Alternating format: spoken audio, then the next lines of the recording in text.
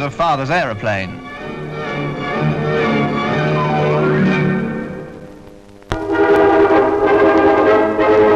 Britannia, dressed overall, makes a colourful centrepiece to the Cowes Regatta. We took these pictures of Prince Philip sailing his Flying 15 Coweslip, given to him by the people of the town. His friend and yachting advisor Uffa Fox was crewing for him.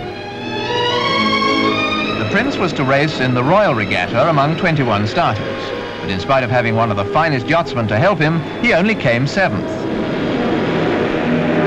I hope the press and cameramen didn't put him off. They had plenty of warning not to hinder the royal helmsman. Anyhow, we were given facilities to get a close-up of the Prince in practice before the racing began.